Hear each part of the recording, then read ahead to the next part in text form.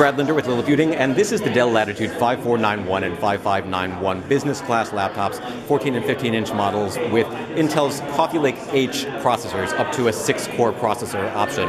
These are very similar in terms of design to the versions that we saw earlier this year and last year with uh, Kaby Lake and Kaby Lake Refresh processors. The difference is that these have 45 watt hour processors and ship standard with NVIDIA graphics. So what we're looking at here is the 14 inch model, the 5491, and it's available with a number of different options. We've got an option for a fingerprint sensor here, option for a Windows Hello compatible camera, optional touchscreen display, and uh, ships standard with this screen that folds back to 180 degrees. It comes standard with a 65 watt hour uh, battery, but it's available with up to a 92 watt hour battery, and it is a user service, or not user, but a, a sort of business serviceable battery.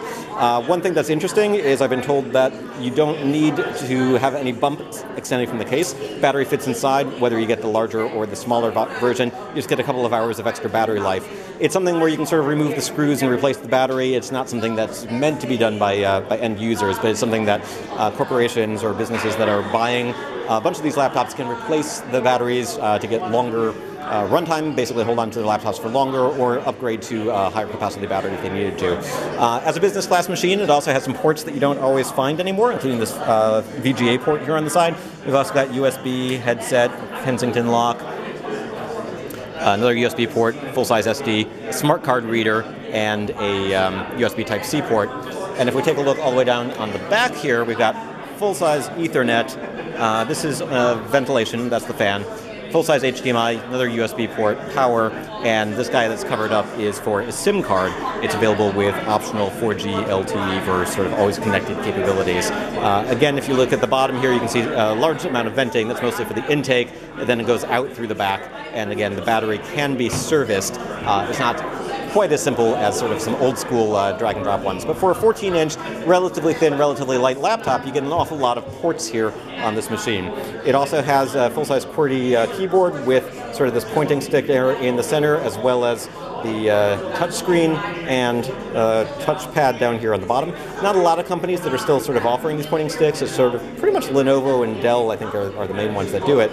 But it is an option for people who prefer this, and it means you can sort of adjust the pointer, click the buttons without moving your hand away from the keyboard. So that's the 14-inch model. The 15-inch version, substantially larger, uh, has a larger uh, fingerprint reader for some unknowable reason, but it also has a uh, full room for a full numeric keypad, as well as all the other features. The port arrangement is pretty much the same.